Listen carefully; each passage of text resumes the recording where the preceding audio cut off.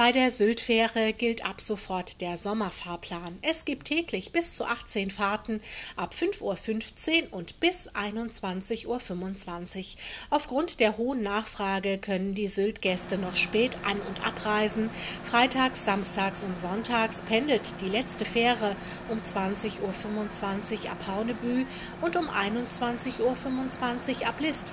Für Wohnmobilisten ist die Syltfähre die einzige Möglichkeit, auf die Insel zu reisen.